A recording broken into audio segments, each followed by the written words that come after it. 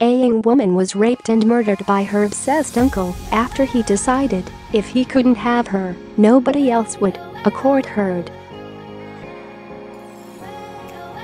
Celine Dookhran, 20, was allegedly kidnapped by her relative Mujahid Arshid, 33, and his employee Vincent Tappu, 28, before she was raped and had her throat slit in South London. The young woman's body was then stuffed into a freezer while her friend, who cannot be named due to legal reasons, who had also been kidnapped managing to survive. Prosecuting, Crispin Aylett QC told the jury that Arshid had become obsessed with his 20-year-old niece Celine, but realized that she was beyond his clutches due to her relationship with her boyfriend, a Libyan Muslim. He said the accused had plotted to kidnap young Miss Dookhran and her friend, telling the jury thereafter, and it is as bizarre as it is terrible, he intended to rape them before murdering them and disposing of their bodies. He considered either putting them in acid in order that their bodies might dissolve or else concealing them in a deep freezer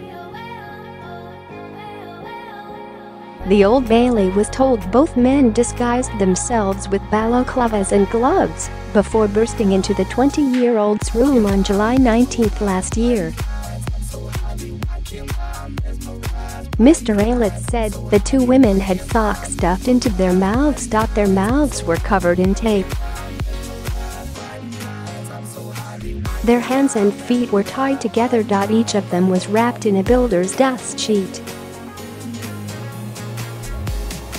Arshid scooped up clothes and phones to give the entirely false impression Miss Dookhran had run away, it was claimed. Tappu played no further part, jurors were told. Arshid is accused of taking the women to a one-pound 5 meters property in Kingston on Thames, where he had been working at as a builder, raping both of them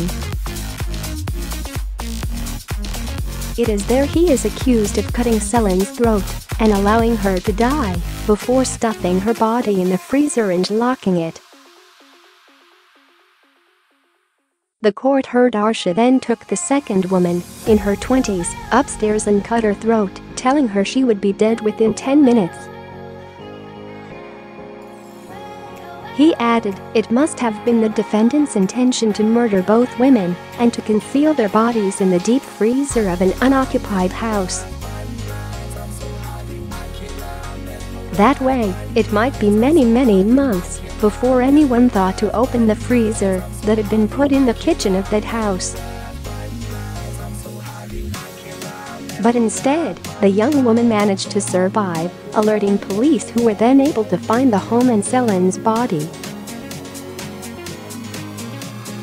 Arshid, of no fixed address, denies murder, attempted murder, two counts of kidnap, two counts of rape, two counts of conspiracy to falsely imprison another, possessing a firearm with intent to taser,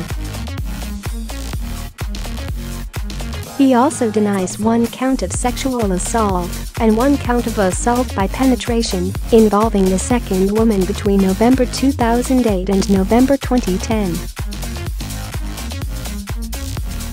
Tappu, of Acton, West London, denies two counts of kidnap, two counts of conspiracy to falsely imprison another, and one count of possessing a firearm with intent We pay for your stories. Do you have a story for the Sun Online News team? Email us at tips at the Sun.